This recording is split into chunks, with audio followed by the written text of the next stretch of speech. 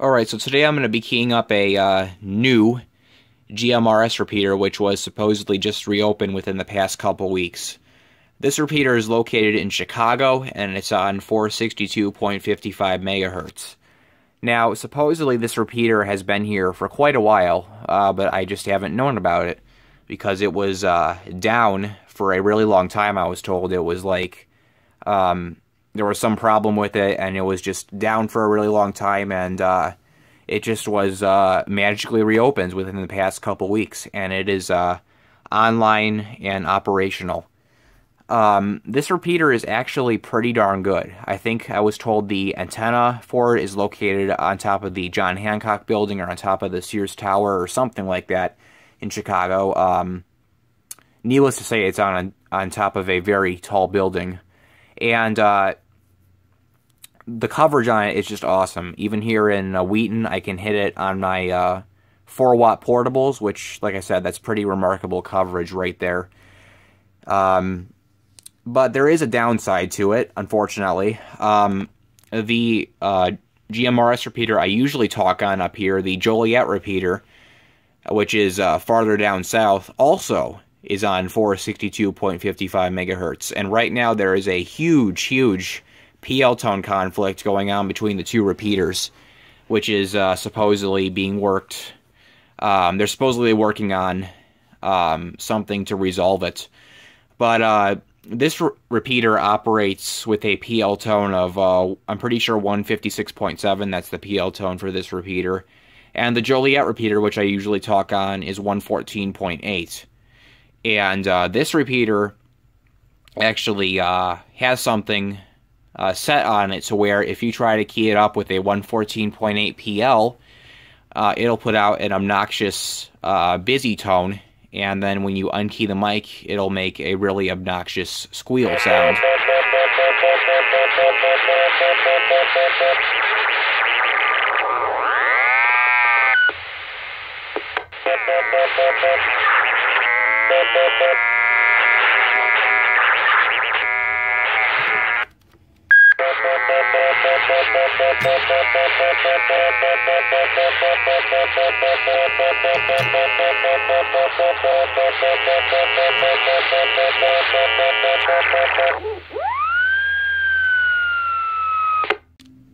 WQXC 773 monitoring the Chicago repeater.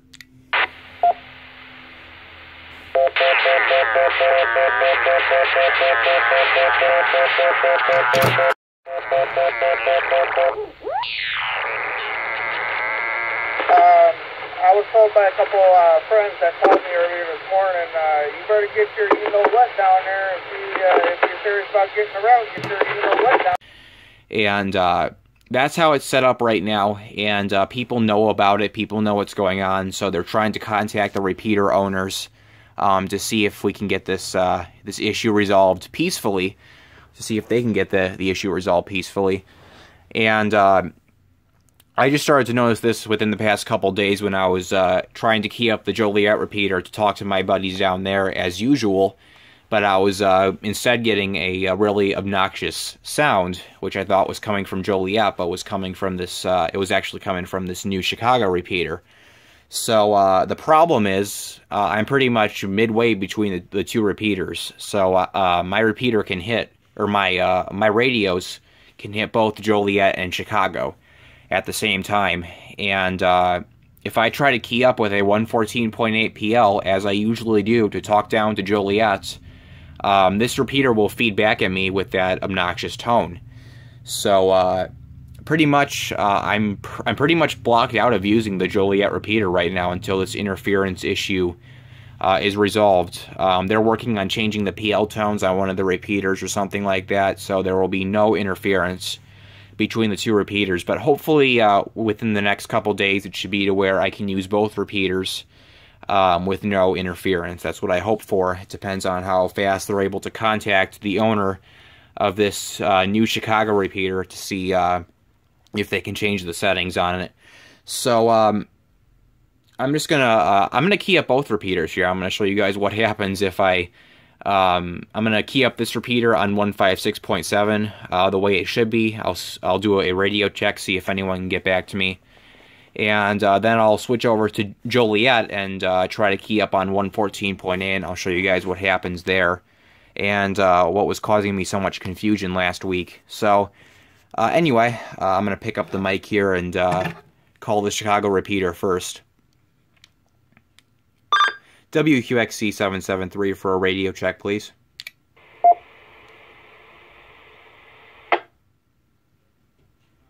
I may get a reply, I may not.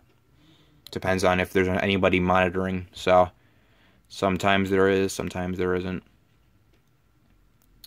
Well, uh, the radio works fine, but you guys can hear the feedback. So um, there's that. Now what I'm going to do is I'm going to go down to uh, my Joliet channel.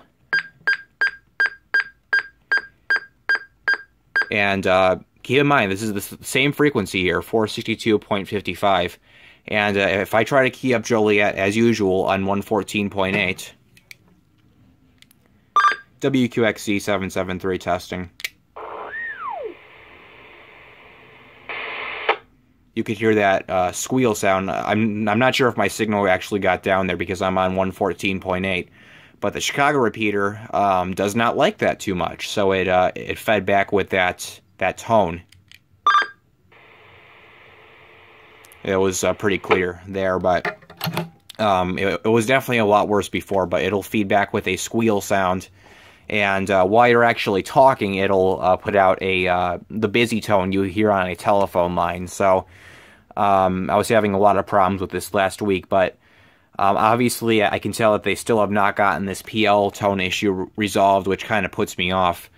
But uh, hopefully, pretty soon here, um, I will be able to get this uh, they will be able to get this issue resolved so I can uh, use both repeaters. But uh, there you guys go. There's my current uh, uh, issue kind of with um, GMRS repeaters. So I guess that'll be it. Thanks for watching.